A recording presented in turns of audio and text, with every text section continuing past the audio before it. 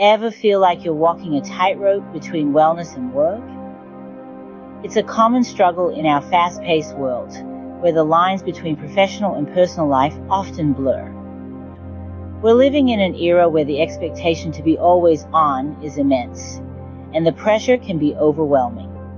Modern life is like a juggling act, where we're trying to keep multiple balls in the air. We're striving to meet our work goals, but at the same time, we're conscious of the importance of self-care. But when the work ball becomes heavier and demands more of our attention, our wellness ball is at risk of dropping. This constant balancing act can take a toll on our mental and physical health. Stress, burnout, and fatigue become unwelcome companions, hindering our ability to perform at our best in any sphere of life. So, how can we better balance our wellness and work? Let's dive into some practical strategies. First, let's clarify what we mean by wellness. Wellness is a multidimensional concept that encompasses more than just physical health. It's a holistic approach to life that includes our mental and emotional well-being as well. It's about more than just being free from illness or disease. It's about actively engaging in behaviors and habits that promote a higher quality of life and a sense of personal fulfillment.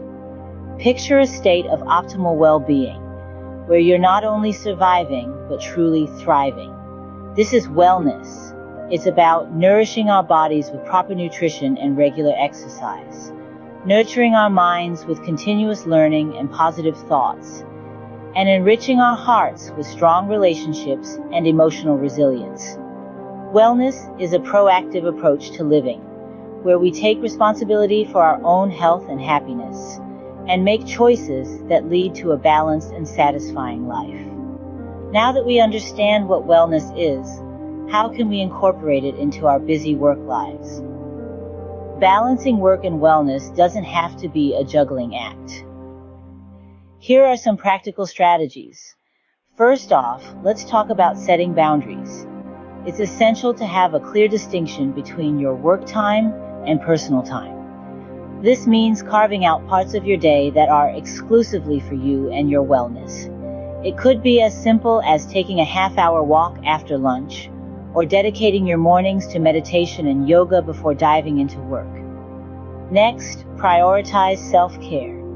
This term has been tossed around a lot lately, but it isn't just a buzzword. It's a crucial aspect of maintaining balance. Self-care could mean many things, from taking time for hobbies that bring you joy, spending time with loved ones, or even just pampering yourself with a relaxing bath. The idea is to fill your life with activities that rejuvenate you, not just ones that drain you. Now, let's talk about incorporating movement into your workday. Sitting for long periods can take a toll on your body and mind. So why not shake things up a bit? Try taking a short walk during your break, do some stretches at your desk, or even hold a walking meeting. The key is to keep your body active, helping you stay focused and energetic. Mindfulness is another powerful tool in balancing work and wellness. Practicing mindfulness means being fully present in the moment, which can help reduce stress and increase productivity. Try incorporating simple mindfulness exercises into your day, like mindful breathing or eating. Never underestimate the importance of regular breaks. They can boost your productivity and prevent burnout. A five minute break every hour can make a world of difference. And remember, a healthy diet and getting enough sleep are just as vital. Your body and mind need fuel and rest to function optimally. Remember, these strategies are not one size fits all. Find what works best for you and your lifestyle. You are the expert of your own life, so craft a routine that suits your needs, your goals, and your idea of wellness. After all, wellness isn't a destination, it's a journey. But what about the workplace? How can we make wellness a part of our work culture? Well, it can start with employers fostering a culture that values wellness as much as it values productivity. One effective way to do this is by offering flexible work hours. This can allow employees to structure their workday in a way that best suits their individual needs, and promotes their overall well-being. Promoting mental health is another crucial aspect of a wellness-oriented work culture.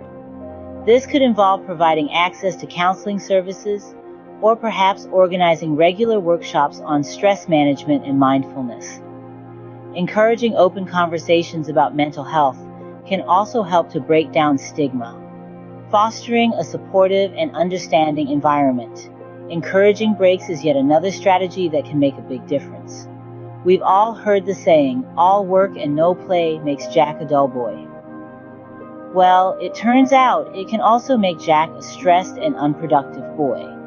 Regular breaks can refresh the mind, reduce stress, and boost productivity. So, whether it's a lunch break away from the desk or a short walk in the afternoon, it's important to remember that taking time to recharge is not a luxury, but a necessity. Providing resources for physical health is also vital. This could be as simple as providing ergonomic furniture or as ambitious as setting up a company gym. Employers could also consider initiatives like sponsoring fitness classes or organizing healthy eating workshops. And of course, leading by example is key. When leaders prioritize their own wellness, it sends a powerful message to the rest of the team. It shows that wellness isn't just a buzzword, but a genuine value that the company stands behind. When wellness becomes a part of work culture, Everyone benefits. It's a win-win situation. Indeed, a culture of wellness can lead to happier, healthier employees, and ultimately a more productive and successful business. So let's make wellness a work culture, not just an afterthought. So, we've talked about the struggle of balancing work and wellness, and we've explored some practical strategies. Let's sum it all up. First off, we've established that the struggle is real. We all grapple with the challenge of maintaining our health and wellness while meeting the demands of our careers. But we've also recognized that it's not a zero sum game. Work and wellness can and should coexist harmoniously in our lives. A key point we've discussed is the importance of setting boundaries. It's essential to delineate your work time from your personal time and respect those boundaries. By doing so, you create a space for relaxation and rejuvenation, which are critical for your overall well-being.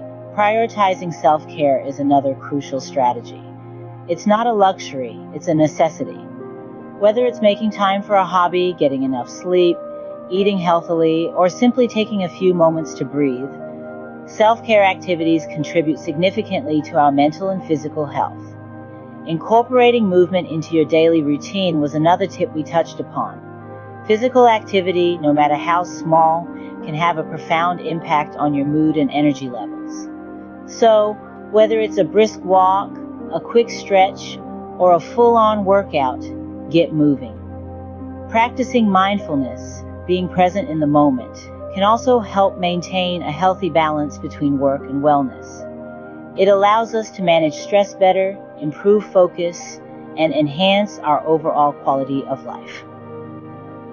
Lastly, we talked about fostering a culture of wellness in the workplace.